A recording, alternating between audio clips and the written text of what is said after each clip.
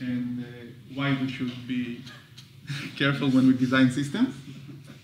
Uh, so there are many examples in the not very recent, uh, not in the very long past, showing that uh, failure in designing systems caused huge problems. For example, the year 2000 uh, problem that we had that everybody were afraid, and um, maybe more known is the loss of contact with the deep impact uh, shuttle that uh, there was some uh, internal clock that uh, was only 32 bits and it just overflowed and no contact uh, was like, disrupted. And we have now the IPv4 problem, and so IPv6 is coming in to replace our IP address system. And the goal of this talk is to advocate us to design systems in which we do not assume any like limitation on the system on what's going to happen in the future. And in this talk, I'm going to talk. In this talk, I'm going to uh, discuss this problem in the setting of secret sharing. And in the setting of secret sharing, what's most natural is to not uh, assume that there is some bound on the number of players, or maybe the access structure can change with time. Uh, we don't want to uh, bound ourselves to some, I don't know, million people. And maybe most importantly is that even if we know some upper bound on the number of people in the world, or we can estimate that in 100 years it will only go, grow by, I don't know, a squared or something, then we don't want to pay for the first person whatever the, our upper bound is. And I'll uh, say a couple of more words about it in a few minutes. But that's a very important point. For the first person that we want to share a secret to, we don't want to pay as if there are a million people around. Okay. Uh, designing such systems, I'm, I'm, not the first to do it. We're not the first to do it. It has been done uh, for 25 years, maybe 50 years. the first example that I know is uh, the example of prefix codes for the integers. It uh, was introduced by Elias in 75, and I'll talk more about what they are.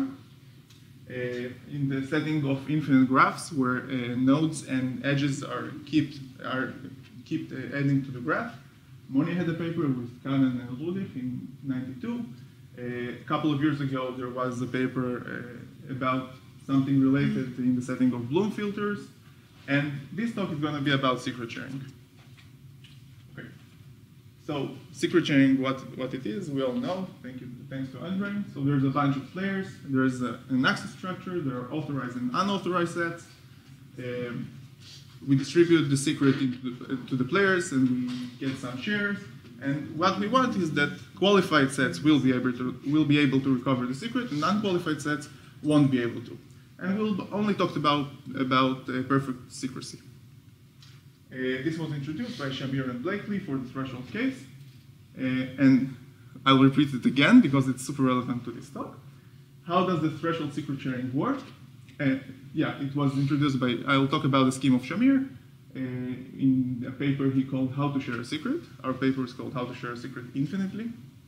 Uh, yeah, so the scheme is very simple. You choose some number q, some prime power q, which is at least the number of players. Andre told us it can be at least n and not n plus 1. Uh, and what you do, you choose a random polynomial.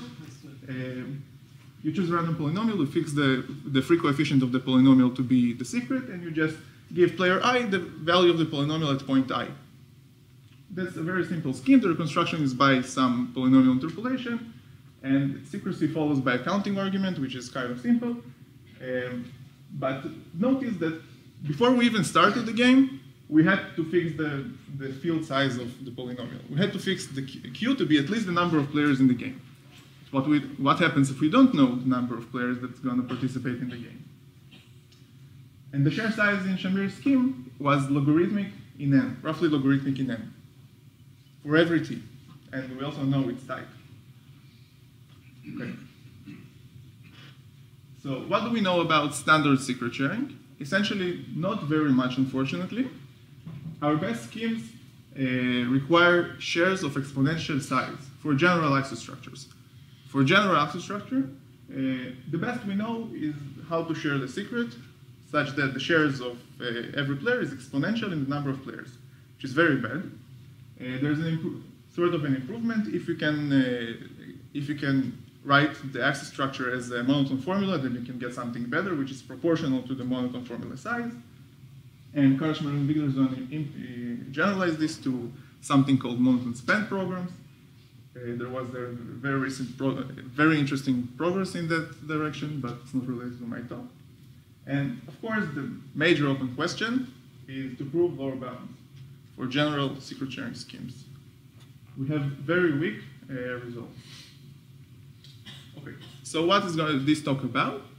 So we still want to share a secret, but we don't want to assume uh, that we know how many players will participate in the game. We still want qualified sets to be able to recover the secret, and unqualified sets to not know anything about the secret. So the game is as follows. Players will come one by one.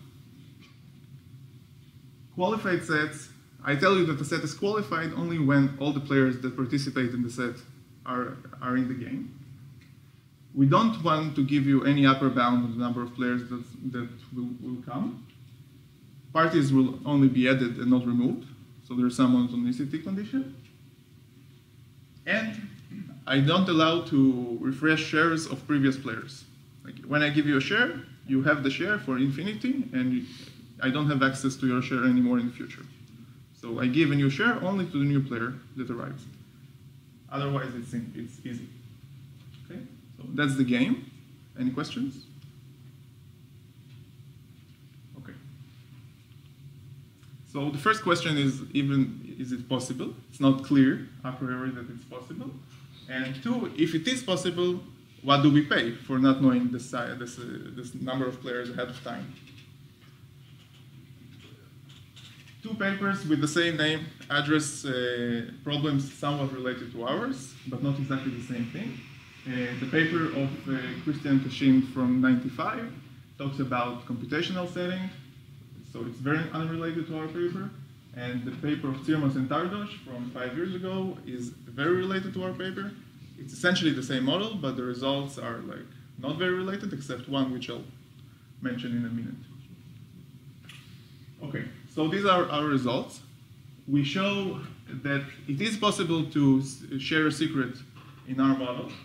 Uh, for any access structure, we can share a secret such that the share size of the tth player is exponential in t. For the threshold case, in which at every point in time, every k players uh, can uh, reconstruct the secret, but every k minus 1 cannot we get a scheme in which the share size of the tth player is something like k log t. For the two threshold case, we get a very nice uh, term which looks like log t plus log log t plus log log log t plus log log log log t, and so on. And a nice example is ST connectivity, which we can generalize from the standard setting without paying anything. So it's still one bit. So, so every time one person uh, joins, you have to refresh the shares for everyone. No, I, I'm not allowed to refresh the shares of anyone except him. I give him a new share. So this will be the size of the new yes, player, exactly. everyone staying with exactly the same. Exactly. So the first player will get just one bit or something. So these are the constructions. We have a lower bound. We show that the two threshold scheme is tight, so it cannot be improved. So you have to pay this uh, log log factor and log log log factor.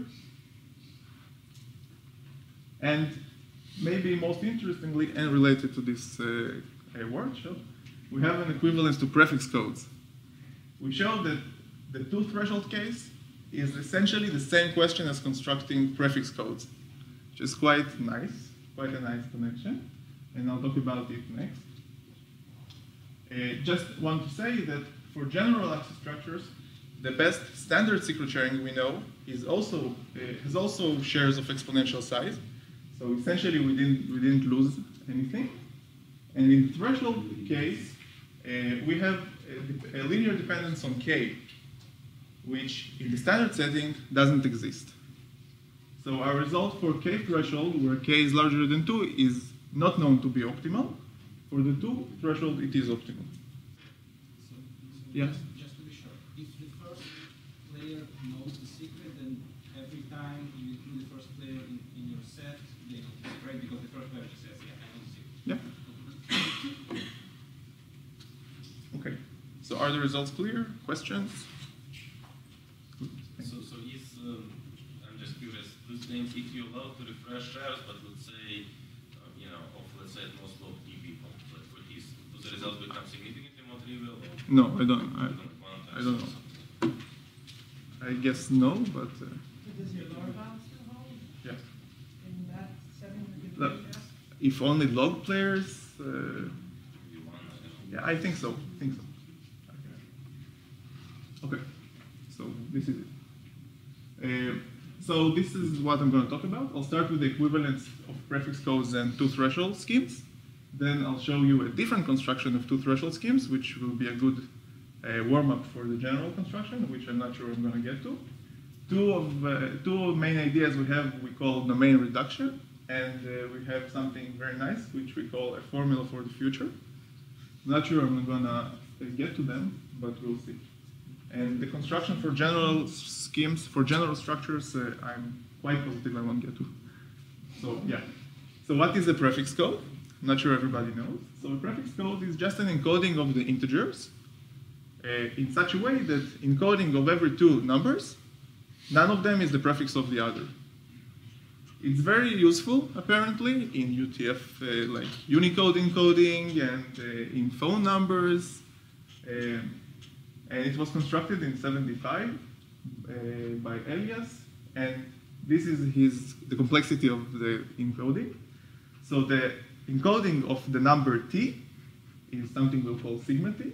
It is log t plus log log t plus log log log t bits. This is the size of the encoding.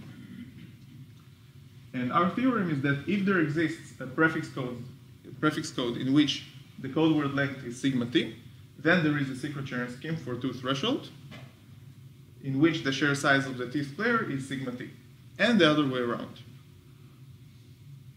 Great. So let's see how it works. It's quite simple. So let's assume we have a, a, a prefix code, sigma, in which the code word length is sigma t. The secret sharing scheme is very simple. The dealer chooses a, a random string w that he's going to make longer and longer and longer as more players come. If he wants, if the secret is zero, then when the tth player arrives, we give him the prefix of w of length sigma t. And if the secret is 1, we give him the same string, XORed, with the tth code word of the prefix code. Okay? So that's the scheme. It's very simple. Let's see how reconstruction works. Every single player, uh, okay, reconstruction, we need to have uh, two players. So we have two shares. We look if one of them is the prefix of the other. If so, then the secret is zero. If they are not prefix one of the other, then the secret is one.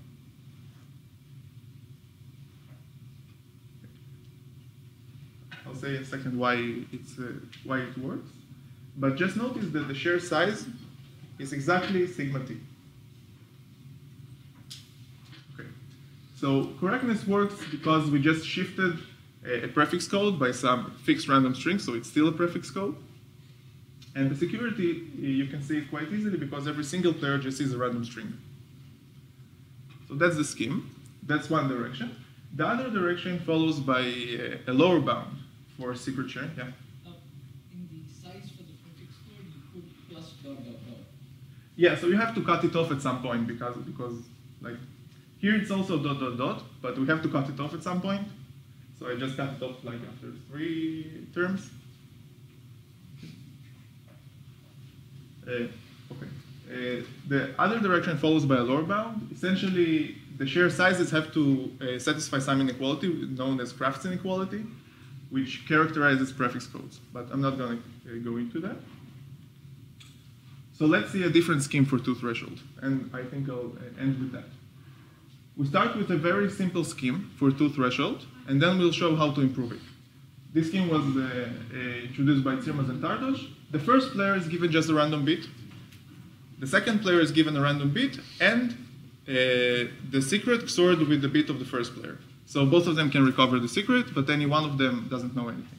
The, the third player gets a random bit, the same random bit that the second player got, and another bit which is the random bit of the second player XORed with the secret. And in general, this is what party T gets. And you can easily see that this scheme works. And the share size in this scheme is linear, is t. I promised you logarithmic, and I also obtained logarithmic in the previous scheme. So how do we get to logarithmic? The idea is very nice. Think of these players, one, two, three, four, they come one by one, and there's a secret S. What we want to do first, we first uh, split them into generations, uh, which are growing in size. They will be exponentially, like geometrically increasing in size.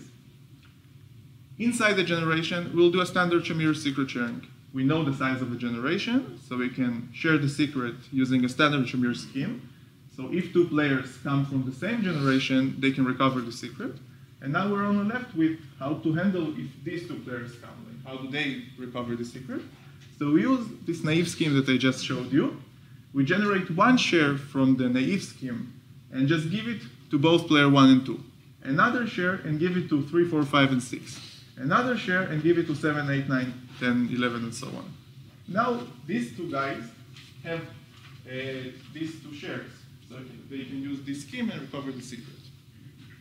That's a very nice idea. What's the share size? If you do the computation, you see that the share size is 2 log t. I promised you log t plus log log t so on. And the idea is very nice. You just apply it recursively. You do the same construction, but now instead of using uh, the scheme pi 0, you use this scheme as the base scheme. And you get the share size, if you do it like three times, you get log t plus log log t plus 2 log log log t. And you can do it as many times as you want. So that's the idea. Why is this scheme any better? It achieves the same sh share size, so I didn't get anything by doing that. But this scheme is linear. The previous one, based on prefix codes, is nonlinear, which is a very nice example of a nonlinear scheme. This is a direct con construction which you, you can easily generalize to larger shares without doing it by, bit by bit, whereas the previous one you have to do it bit by bit. And it is used as a good warm-up for our general construction, which I think I don't have time to show. Uh, yeah, this is my idea. I hope you got it. uh, so I think the most interesting question is to improve the dependence, the linear dependence on k in our share size. It's k times log t. We don't know how to do it, and there are some more questions here. You can look at them while I'm finishing. Thank you.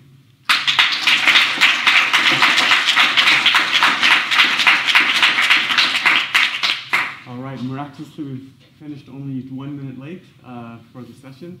Um, uh, let's take a couple of questions uh, for him, but I also want to uh, tell everyone who's going to be presenting in the next session, please come and uh, put your uh, presentations on the laptop so that we can record the presentations. Um, any questions for Ilan?